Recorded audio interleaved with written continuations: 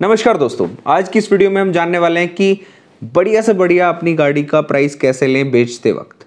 यानी कि अपनी गाड़ी को सेल करने का प्लान कर रहे हैं तो सबसे अच्छा प्राइस हमें कहाँ मिलेगा, किस प्लेटफॉर्म पे मिलेगा, मेरा एक्सपीरियंस क्या रहा, मैंने अपनी पाँच साल पुरानी कार को, जिसमें मार्केट में दो लाख रुपए तक एक्सचेंज वैल्यू मिल रही थी, किसी भी शोरूम से अगर मैं नई गाड़ी खरीद रहा था या ढाई लाख रुपए तक, उस गाड़ी को तीन लाख बीस हज़ार रुपए थ्री लाख ट्वेंटी थाउज़ेंड में मैंने सेल किया। कैसे मैंने इतने अच्छे प्राइस में सेल किया जिससे मैं काफ़ी हद तक सेटिस्फाइड हूँ? वो सारा एक्सपीरियंस मैं आपसे शेयर कर रहा हूँ। जितने भी ऑनलाइन सेलिंग प्लेटफॉर्म्स हैं Spinny cars car Dekho dot com cars twenty four dot com Mahindra first choice इन चारों के साथ मेरा एक्सपीरियंस कैसा रहा? किसको मैंने अपनी कार फाइनली सेल की? गाड़ी को बेचने से लेके पैसे आने तक डॉक्यूमेंटेशन पूरा प्रोसेस क्या रहा? वो सारा इस वीडियो में डिस्कस करने वाला हूँ। लास्ट तक प्लीज़ ज़रूर देखिएगा। बहुत काम की वीडियो है, क्योंकि जब भी आप गाड़ी सेल करने का प्लान कर रहे हैं, एक बार मेरे बताए हुए तरीके को करके देख लेना, नहीं तो फिर जिसको भेजनी बेच देना, कोई दिक्कत नहीं है। शुरू करते हैं वीडियो सबसे पहले अप्रोच किया महिंद्रा फ़र्स्ट चॉइस को। उनको मैंने कॉल किया, जो मेरे नियर बाई में सेंटर था, एक महिंद्रा फ़र्स्ट चॉइस का, जो भी आप गूगल से सर्च करेंगे अपने नज़दीकी वहाँ मैं गया गाड़ी लेके, उन्होंने मेरी गाड़ी का जस्ट विजुअल इंस्पेक्शन किया फोटोग्राफ्स लिए इंटीरियर के, अंदर के, बाहर के, और लेके मेरे को भेज दिया कि ठीक है जस्ट डेटा बहुत ज़्यादा डीप इंस्पेक्शन नहीं किया। उन्होंने कहा, ठीक है, हम आपको प्राइस देंगे। एक दो दिन बाद व्हाट्सअप पे उनका प्राइस मेरे को two lakh eighty thousand rupees price आ गया। दो लाख अस्सी हज़ार रुपये उन्होंने फाइनली मुझे बोला कि इतना हम आपको दे सकते हैं फाइनल प्राइस ठीक है जी। फिर मैंने कॉल किया, क्योंकि बहुत सुनते रहते हैं, न्यूज़ में भी ऐड आती रहती है cars Dekho dot com cars twenty four सबसे पहले कार्स ट्वेंटी फोर को कॉल किया मैंने। तो कॉल करने पे मेरे नियर बाई में जैसे नारनोल, रेवाड़ी, भिवाड़ी, यहाँ के आसपास कोई कार्स ट्वेंटी फोर का ऑफ़िस नहीं है। ये लोग होम इंस्पेक्शन नहीं करते, इनके लिए इनकी ब्रांच पे जाना होता है। ग्राम में इसकी ब्रांच है, हिरोंडा चौक से जैसे ही उतरते हैं वहाँ पे। मैंने कॉल किया, इन्होंने मेरे को इंस्पेक्शन के लिए अपॉइंटमेंट आईडी दे दी। टाइम अपने हिसाब से सुटेबल आप जब आपको लगता है, आप सेलेक्ट कर सकते हो। मैं ऑफ़िस के बाद, शाम के टाइम गया इनके पास तो जाते ही इन्होंने बस डिटेल्स ली, मेरी डॉक्यूमेंट लिए और वहाँ से इनके एग्जीक्यूटिव थे उन्होंने मेरी गाड़ी का इंस्पेक्शन करने के लिए निकल गए। गाड़ी का अच्छे से थ्रू आउट इन्होंने इंस्पेक्शन किया इंटीरियर एक्सटीरियर इंजन परफॉर्मेंस गाड़ी को चला के देखा, गाड़ी का एसी देखा, गाड़ी का म्यूज़िक सिस्टम देखा, और गाड़ी के रेडिएटर को चेक किया, गाड़ी के कूलेंट कंडीशंस चेक की इंजन की साउंड को चेक किया बैटरी कंडीशन चेक की पेंट डीएफटी मीटर से चेक किया टायर की कंडीशन देखी गेज मीटर से गेज लगा के, कितना परसेंटेज अभी टायर में बचा हुआ है गाड़ी के हर एक बॉडी पार्ट पे जहाँ जब इन्होंने पेंट देखा, कहीं रीपेंटेड रीटच भी था तो उसको इन्होंने ऑब्ज़र्व किया। गाड़ी के अंदर कोई लाइनिंग मार्क्स डैमेज वो सब नहीं है। सारा इन्होंने डिटेल इंस्पेक्शन किया। इनका पोर्टल रहता है।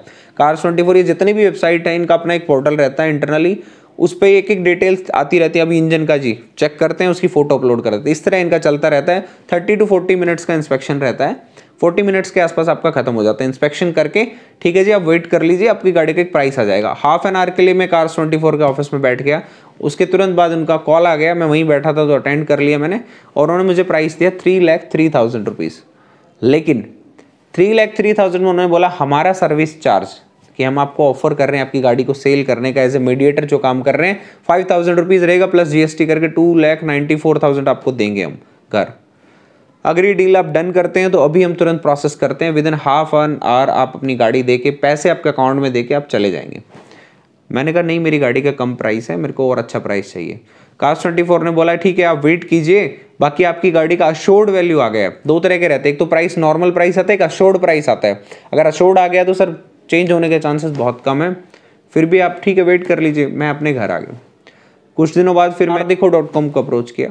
कार देखो डॉट कॉम को मैंने कॉल किया तो यस उनके यहाँ पे सबसे अच्छी चीज़ जो मुझे लगी, देखो होम इंस्पेक्शन जहाँ मैं जिस सोसाइटी में रहता हूँ, वहाँ पे आके इनकी टीम मेरी सोसाइटी के अंदर, मेरे टाइम के हिसाब से, और फ्लैट पे कहीं नहीं जाना पड़ा मुझे, इनके जो भी टेक्नीशियन थे, वो आए, गाड़ी का इंस्पेक्शन किया, गाड़ी का बहुत थ्रू आउट द इंस्पेक्शन किया, वही सेम प्रोसेस पेंट के लिए डिफ्टी मीटर टायर का गेज से चेक किया, वही इनका पोर्टल था इंजन परफॉर्मेंस और चला के देखा एक्सेलरेटर कंडीशन में कैसा है? आपका इंजन ऑयल की कंडीशन क्या है? आपका स्मोक तो प्रोड्यूस नहीं कर रही है कहीं डेंट स्क्रैचेस डैमेज ये सब तो नहीं है। सिस्टम एसी कैसा काम कर रहा है? ईच एंड एवरीथिंग इन्होंने वेरीफाई की डेटा अपलोड किया।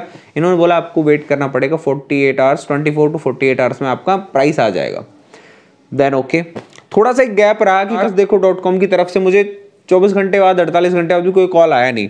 तो बहत्तर घंटे बाद फिर मैंने इनको कॉल करके अप्रोच किया, सर, मेरी गाड़ी का इंस्पेक्शन हुआ है, अभी तक मुझे प्राइस नहीं मिला है। यानी कि मुझे थोड़ा फॉलोअप लेना पड़ा, ये मुझे एक कमी लगी थोड़ा सा इनके साथ। तो फिर इनके जो भी एरिया इंचार्ज थे, अलवर साइड के, उन्होंने टेकअप किया मैटर को। और फाइनली उन्होंने बोला, ठीक है, आप मुझे अपनी आधार, पैन की डिटेल्स भेजिए। आज मैं इसको दोबारा बिडिंग के लिए डालता हूँ। सर, आपकी बिडिंग कम आई थी two lakh eighty thousand two lakh eighty five thousand bidding आया था आपका, जो हमें लगा कि कम है। तो इसलिए हमने शेयर नहीं किया। मैंने कहा, नहीं, इतने में तो नहीं सेल करूँगा। थ्री लैख थ्री तो मुझे कार्स ट्वेंटी फोर दे ही रहा है। तो डेफिनेटली मुझे नहीं करना था सेल ठीक है, उन्होंने इवनिंग तक का मेरे से टाइम मांगा। मीन मैंने स्पिनी कार्स को भी ऑनलाइन चेक किया। उनको कॉल आ गया मेरे पास। उनका भी होम इंस्पेक्शन जो है, हर एक जगह पे अभी वो नहीं करवा पा रहे हैं। दिल्ली एनसीआर में वो लोग करते हैं और मानेसर तक उनकी सर्विस है। तो मेरे को उन्होंने कॉल किया। मानेसर में जैसे ही हमारा एनएसजी का ऑफ़िस आपने देखा होगा, वहाँ तक वो लोग आ सकते थे। तो वहाँ मैं सर्विस लेन पे जाके गाड़ी मैंने खड़ी की, उनका टेक्नीशियन आ गया, गाड़ी का इंस्पेक्शन किया। तीनों, मैंने Mahindra first choice car Dekho car twenty four को कराया। इसमें सबसे यूनिक चीज़ मुझे जो लगी, उनके टेक्नीशियन ने इतना डीप इंस्पेक्शन गाड़ी के नीचे गत्ता बिछा के ईच एंड एवरीथिंग मतलब तो नहीं है कहीं गाड़ी में इंजन के नीचे घुस के मतलब उसने अपना पूरे कपड़े खराब हो गए उस बंदे के, लेकिन उसने कोई देख थोड़ी नहीं रहा है कंपनी का बंदा कैसा इंस्पेक्शन करके आ रहा है उसको। लेकिन उसने ज़बरदस्त डीप इंस्पेक्शन जिसको बोलते हैं ईच एंड एवरीथिंग कि हाँ ये गाड़ी हमें अगर लेनी है तो इसको सब कुछ मुझे पता होना चाहिए। वही सेम उसने अपना डेटे को अपलोड किया, गाड़ी का ड्राइव लिया, और उन्होंने मुझे प्राइस के लिए बोल दिया, मैं घर आ गया। अब देखिए फ़र्स्ट चॉइस तो मैंने कैंसिल कर दिया, क्योंकि मुझे प्राइस कम था। कार्स ट्वेंटी फोर ने भी कहा, अभी नहीं बढ़ेगा जी, खत्म बात। अब मेरे पास दो ऑप्शन थे कार देखो डॉट कॉम या मेरे पास स्पीनी कार्स मैंने उनको क्लियर किया दोनों लोगों को। कार्स देखो डॉट कॉम स्पीनी कार्स को। कि अभी मैंने आप दोनों का इंस्पेक्शन कराया है, मुझे आज इवनिंग तक प्राइस चाहिए, क्योंकि मुझे गाड़ी सेल करनी है। जिसका मुझे दोनों में से बेस्ट प्राइस मिलेगा, उनको मैं सेल करूँगा। तो अब देखिए, जो सबसे इंपॉर्टेंट चीज़ थी, मुझे थ्री लैख फोर थाउज़ेंड या फाइव थाउज़ेंड ही मैक्सिमम प्राइस दिया कार देखो ने।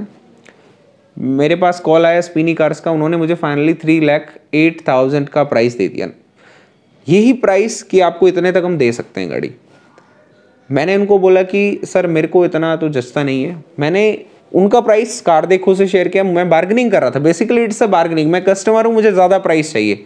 ऐसा नहीं है कि मैं भाई, मैं उसका प्राइस उसको मैंने बताया, सर, मुझे कार्स देखो डॉट कॉम से इतना मिल रहा है स्पिनी से इतना मिल रहा है। स्पिनी ने मुझे थ्री लैख नाइन दे दिया, यानी कि अब दोनों में स्पिनी ने ज़्यादा दिया। स्पिनी का प्राइस मैंने कार देखो से शेयर किया। बढ़ा के थ्री फोर्टीन कर दिया और अब कार देखो ने थ्री सिक्सटीन फाइव हंड्रेड कर दिया। फिर फाइनली मैंने बोला, नहीं सर मुझे फाइनल प्राइस दीजिए, दोनों में जो ज़्यादा होगा। मुझे फाइनली कार देखो ने थ्री नाइनटीन ऑफ़र किया। अब जो है, उनको मैंने बोला, ठीक है थ्री ट्वेंटी में हम डन कर सकते हैं। उन्होंने कहा यस मैंने स्पिनी को बोला सर मैं थ्री ट्वेंटी में उनके साथ डन कर रहा हूँ।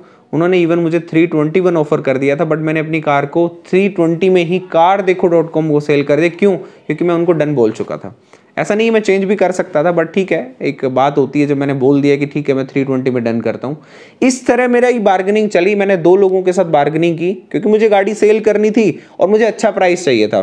तो कहाँ देखिए मैं 280, 294, 33, 35 से 320 तक पहुँचा। ये आपको इतनी मेहनत तो करनी पड़ेगी अगर गाड़ी को सेल करना है तो। इस प्रोसेस में मुझे दो तीन घंटे फ़ोन पे बार्गनिंग में लगे, ये सारा प्रोसेस थोड़ा सा रहा मेरे लिए फ़ोन पे। इतना तो करना पड़ेगा अगर अच्छा प्राइस चाहिए, नहीं तो ठीक है, वो देंगे, वो लेना पड़ेगा प्राइस मुझे मैं सेटिस्फाइड हूँ 320 मेरे गाड़ी का मिल गया क्योंकि जिस हिसाब से buy back value market value के हिसाब से मैंने अपने गाड़ी को एस्टिमेट कर लिया था कि मुझे इतना प्राइस मिल जाएगा तो मेरे लिए ठीक है। ऑल हर किसी की एक्सपेक्टेशन होती है कि मेरी गाड़ी का और अच्छा प्राइस मिले, और अच्छा थ्री फोर्टी मिल जाए, मैं भी सोचता था थ्री फिफ्टी मिल जाए थ्री फोर्टी लेकिन हर एक गाड़ी के एक डेप्रीशिएशन होता है थ्रू आउट द ईयर पाँच साल हो गए हैं। और डेप्रीशिएशन रेट साथ में मार्केट की डिमांड सेकेंड हैंड की मार्केट में क्या डिमांड है? बहुत सारी गाड़ियाँ आज भी ऐसी हैं जिनकी मार्केट में सेकेंड हैंड की बहुत अच्छी डिमांड है, लेकिन कुछ गाड़ियों की नहीं होती है। तो इस तरह मैंने अपनी इस गाड़ी को थ्री लैख ट्वेंटी थाउज़ेंड में कार देखो डॉट कॉम को फाइनली सेल कर दिया। मैंने उनको डन बोला, तुरंत उन्होंने मुझे थाउज़ेंड रुपीज़ मेरे अकाउंट में टोकन अमाउंट शेयर कर दिया कि, सर, आपसे डील डन हो गई है now you can not cancel अगर कैंसिल करते हैं तो उनकी टर्म्स एंड कंडीशन है। फाइव थाउज़ेंड रुपीज़ आपका डिडक्ट होगा। इस तरह मेरी डील फाइनल हुई। हाँ मैंने नेक्स्ट डे बोला, आप पिकअप कर लीजिए। तो उन्होंने कहा, ठीक है। फिर कुछ लॉकडाउन का इश्यू था। तो उन्होंने कहा, सर डे आफ्टर टुमारो आते हैं। मुझे कहीं जाना था। तो मैंने उनसे मतलब दो दिन बाद का रिक्वेस्ट किया तो उनका जो भी टेक्नीशियन आया था मेरी गाड़ी का इंस्पेक्शन कर, वही आया मेरी गाड़ी का हैंड ओवर लेने के लिए। वो बहुत सारे पेपर्स का बंच लेके आया डबल डबल कॉपीज़ थी ट्रिपल कॉपीज़ भी थी कुछ एक। मेरी जो आधार कार्ड, पैन कार्ड और मेरी आरसी इनकी फ़ोटो कॉपी साइन करके मैंने दी। जितने भी फॉर्म थे, एक एनओसी फॉर्म होते हैं जो भी, वो मैंने सब साइनिंग कर दिए। एक लेटर ऑफ़ कन्फर्मेशन था क्या क्या मैं उनको दे रहा हूँ।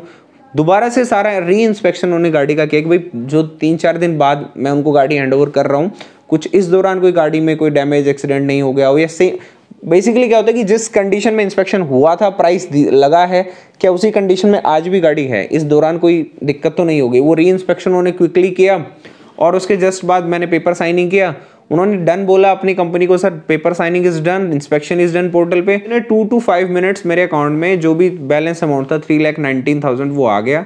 जैसे अमाउंट आया, मैंने उनको की हैंड ओवर की एंड दैट्स ऑल उन्होंने 90 डेज़ का मेरे से टाइम लिया 90 डेज़ में वो आरसी ट्रांसफ़र कराएँगे। सारा डॉक्यूमेंटेशन पूरा हेडेक पूरा प्रोसेस उनका है। किसी तरह का मेरे कोई लेना देना नहीं रहेगा। हाँ मैंने उनको बोला है कि जो भी आप शेयर करो, कर देना मेरे से एक बार डॉक्यूमेंट कहाँ फाइनली गाड़ी जाती है। क्योंकि उनकी ये, देखो, इतना बड़ा ब्रांड है तो उनकी ये हेड एक रिस्पॉन्सिबिलिटी हो जाती है कि आपकी गाड़ी सही जगह पहुँचे प्रॉपर डॉक्यूमेंटेशन हो जाए। तो इतने बड़े ब्रांड्स के साथ डील करने का ये थोड़ा बेनिफिट तो रहता है।